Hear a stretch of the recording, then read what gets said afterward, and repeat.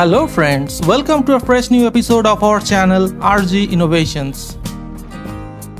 If you have not subscribed already, please subscribe to our channel, click on the bell button and select all to get all future notifications of our video uploads.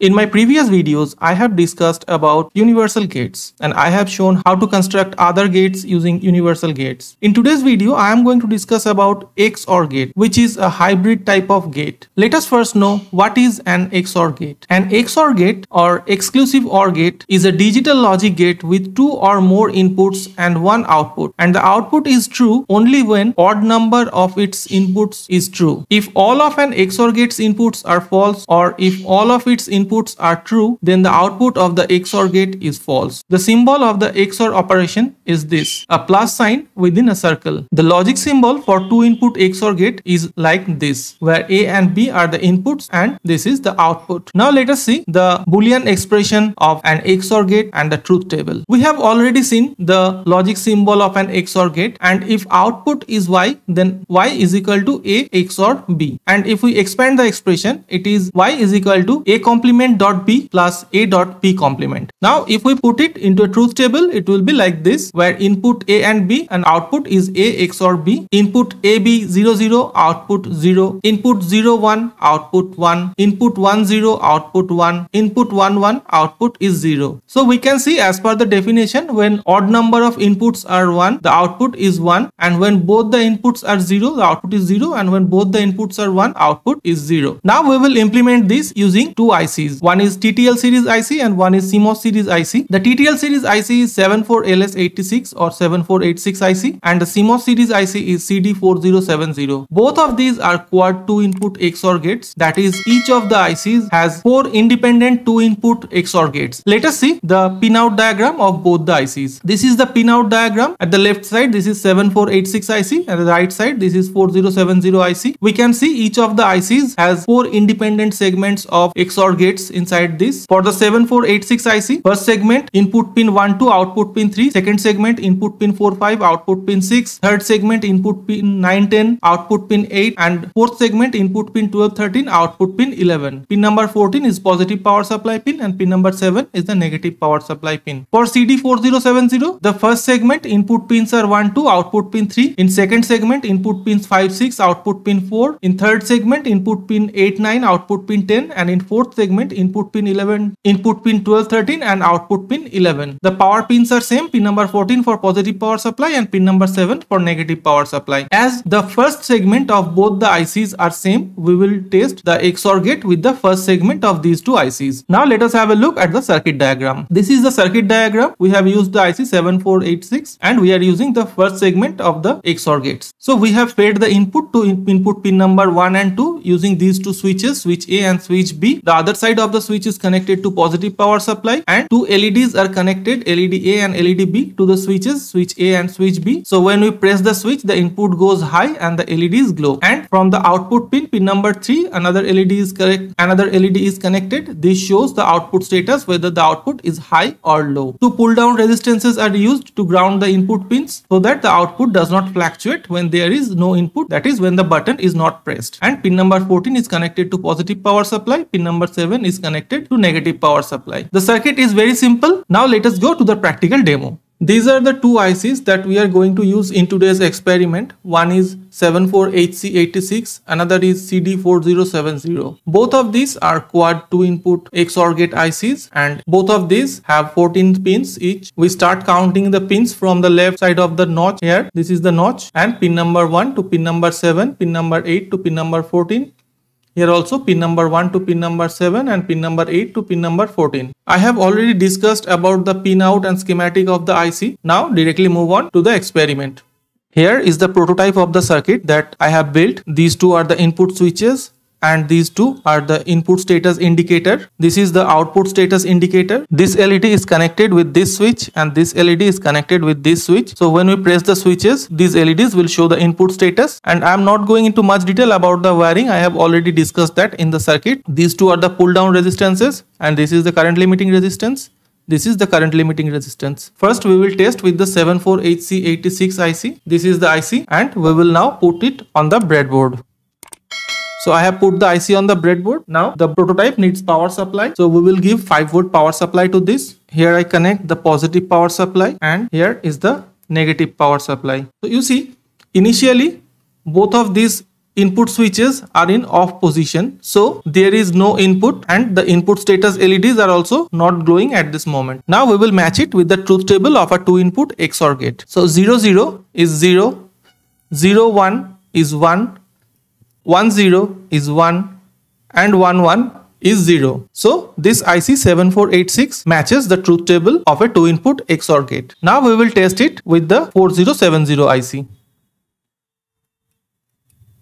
I am removing this IC. Now I will put the 4070 IC on the breadboard.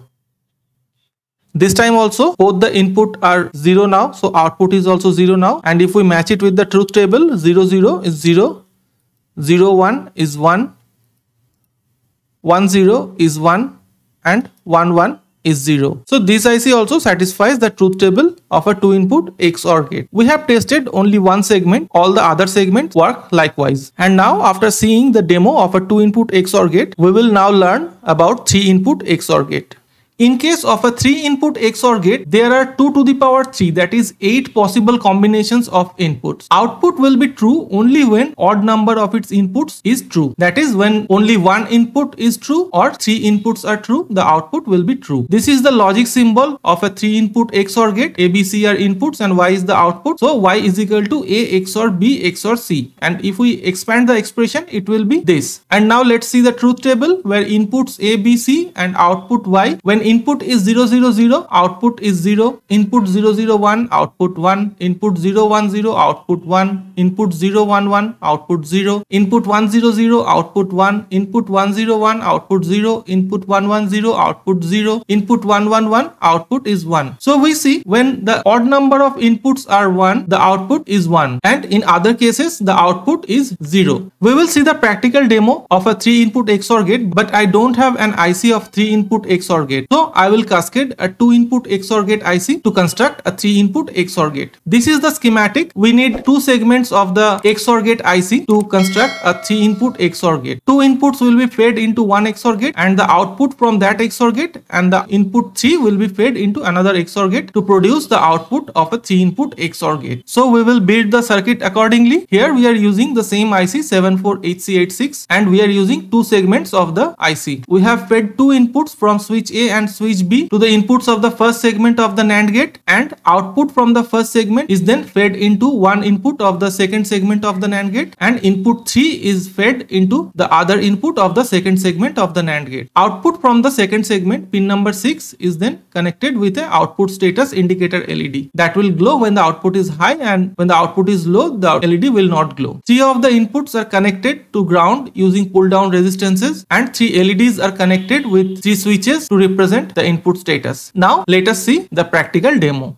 Here we have built the prototype as per the circuit I have already shown. This time three input switches a, B and C and three input status indicator A, B and C and the output indicator is same. Since we are using three inputs we have used three pull down resistances and current limiting resistors are same here. We will test it with the IC 7486. This is the 7486 IC that we have already used while testing two input XOR gates and we are using the same IC for testing three input XOR gate. So we are now putting the IC on the breadboard I am not going into much detail about the circuit because I have already discussed it. Now we will give the power supply of 5 volt to this circuit.